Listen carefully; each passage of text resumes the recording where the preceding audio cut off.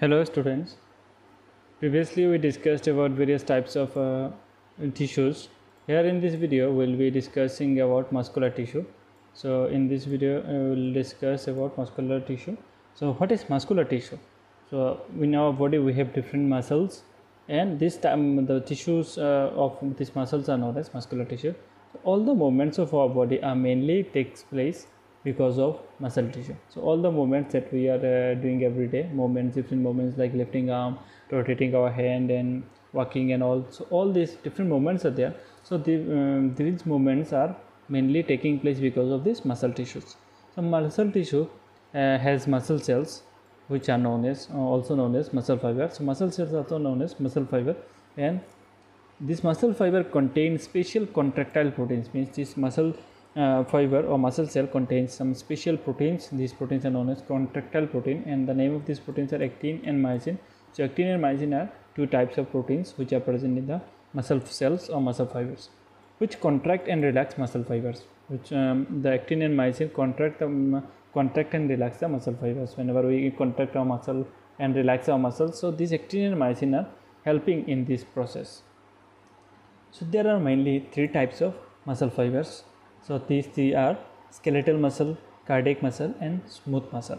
So skeletal muscle means uh, the skeletal means skeleton. We have a body uh, um, framework that skeletal system.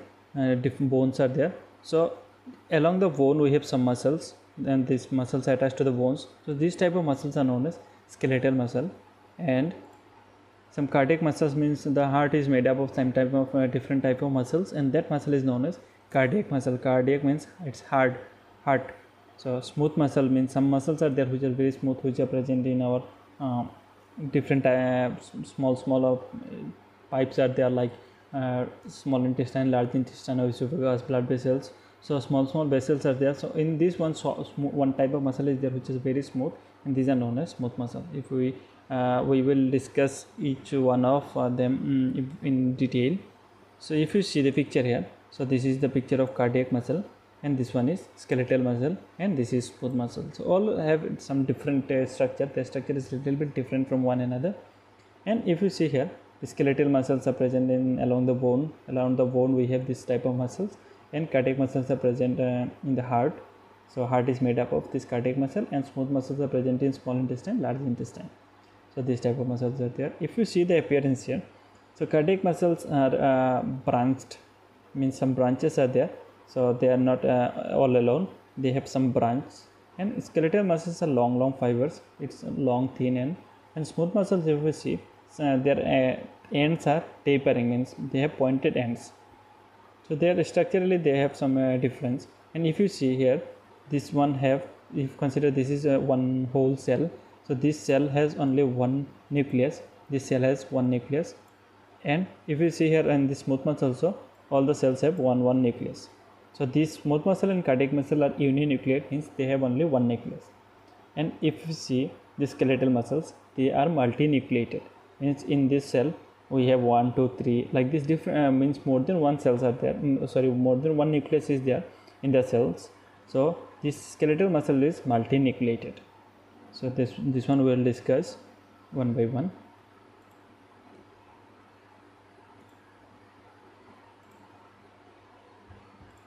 So first we will discuss about skeletal muscle. So skeletal muscles also called as voluntary muscle. So skeletal muscles are also known as voluntary muscles. So term voluntary means uh, the actions which uh, the substance which can be controlled by our will. The thing which we can control are called as voluntary. So this type of muscles, skeletal muscles are under our control. That's why these skeletal muscles are known as voluntary muscle. If we want to contract it, we can. If we want to relax it, we can so these type of uh, muscles skeletal muscles are in under our control. So this that's why it, these skeletal muscles are known as voluntary muscles also. So skeletal muscles are attached to bones by tendons. In uh, connective tissue we have seen the tendons at, uh, helps in the binding of this muscle to bone. So tendon with the help of these tendons the skeletal muscles are attached to different bones. And they produce all the movements of the body in relation to each other. So all the movements that occur in our body are mainly because of the skeletal muscles. It is a major group of muscle. So skeletal muscles are long, thin and multinucleated.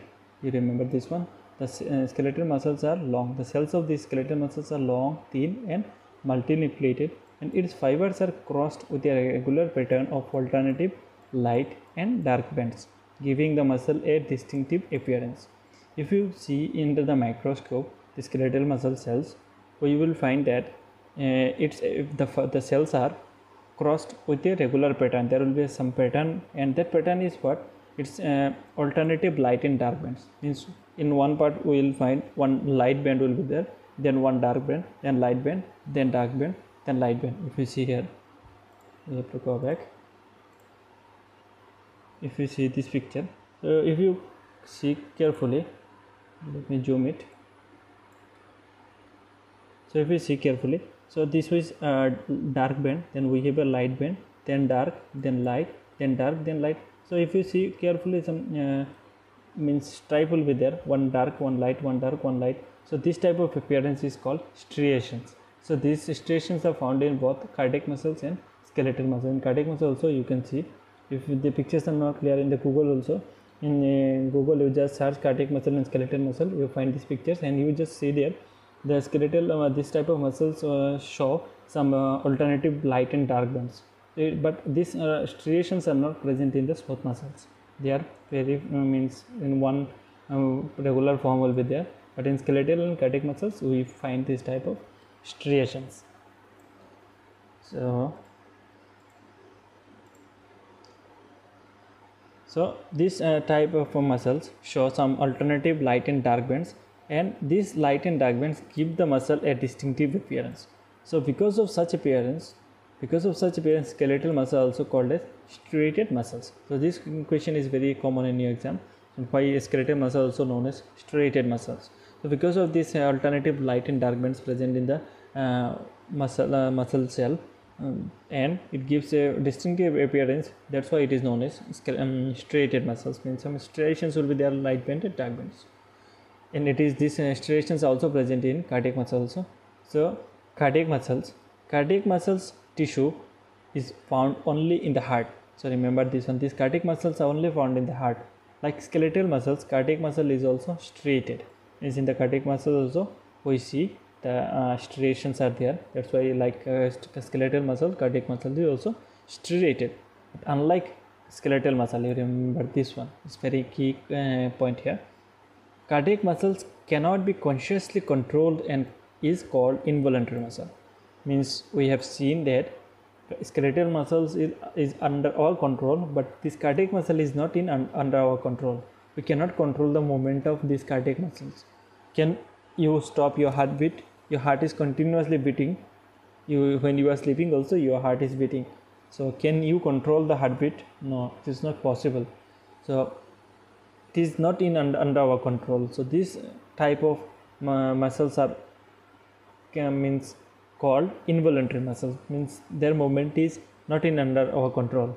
So skeletal muscles are called voluntary because they are in under our control but cardiac muscles are not in under our control. That's why these are known as involuntary muscles. Mm, they cannot be consciously controlled.